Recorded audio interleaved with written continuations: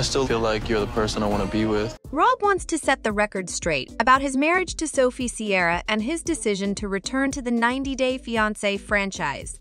Fans first met Rob and Sophie in season 10 of the flagship series.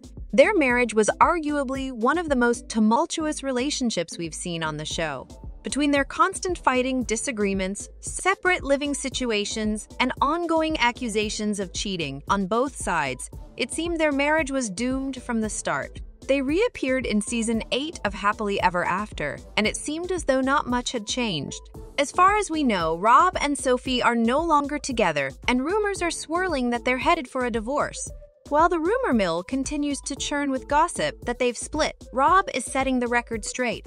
Apparently, fans have come for Rob, who will appear alongside Sophie next month in season 2 of The Last Resort for their third appearance within the franchise. His critics believe that the only reason he's filming another spin-off is because he's looking to cash in financially.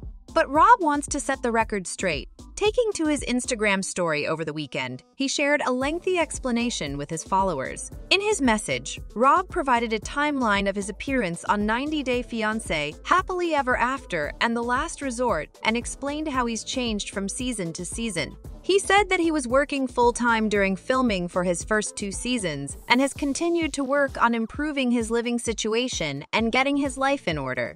Fast forward to filming for season two of The Last Resort, and Rob says that he and Sophie weren't together. Quote, being married always meant the world to me, and doing everything I could to make it work was important. Rob added that despite their turbulent marriage, he was willing to take advantage of the opportunity to film The Last Resort in hopes of working out their marriage.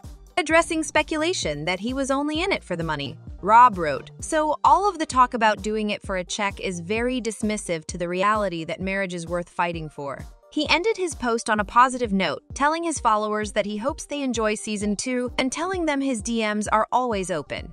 Meanwhile, a last resort teaser shows Rob and Sophie are still struggling to make their marriage work, even with the help of counselors at the marriage retreat. We might not be the most dysfunctional couple here. He's still messaging other women trying to have sex with them. wow! Bro, I'm done. Whether they've reconciled remains a mystery, and we'll have to wait until next month to see how their weeks long therapy retreat pans out. Do you think Rob and Sophie will work things out, or are they done for good? Let us know in the comments. And don't forget to like and subscribe for more updates on the 90 Day Fiancé franchise and even more reality TV news.